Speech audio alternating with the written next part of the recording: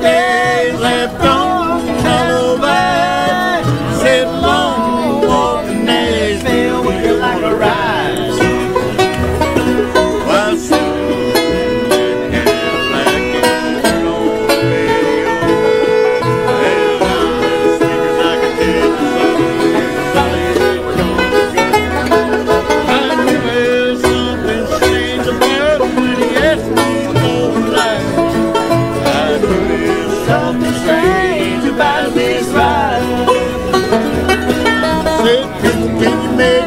Now we play and sing.